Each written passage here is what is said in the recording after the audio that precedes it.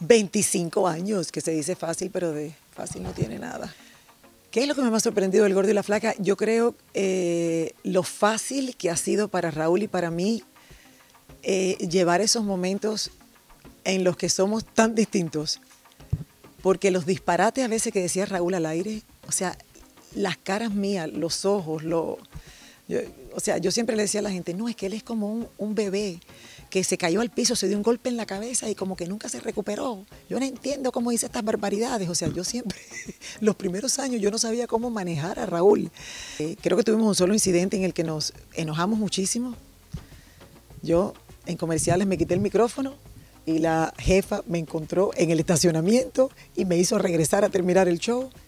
Y después de eso, creo que nos entendimos como marido y mujer. En un momento tan lindo de mi vida. Eh, después de todo lo que pasé públicamente hace cinco años y medio atrás, que, que nunca tuve ni, no sé, ni, la fuerza para hacer un video, darle las gracias a todo el mundo porque el público me sacó adelante. Cómo cambian las cosas con el tiempo, mi gente. Cómo cambia, no les, no les puedo explicar eh, los milagros que he tenido en la vida, o sea, las cosas que han pasado, lo bien que estoy. Eh, nada, en la vida todo es el tiempo, todo llega. Ah, tú estás preguntando si tengo novio. Ah, no, eso nunca te vas a enterar. no uno, muchos. Ya no se tiene uno. No, ya pasé 25 casada con uno, más tres de novia, más dos divorciándome, 30.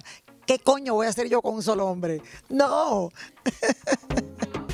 para que nos sigan. Eh, vamos a tener de vuelta, yo creo que a mucha de esa gente que entrevistamos en su momento, que causaron sensación, que se fueron del estudio. Iba a ser un año espectacular para el Gordo y la Flaca. Así es que disfrútenlo junto a nosotros.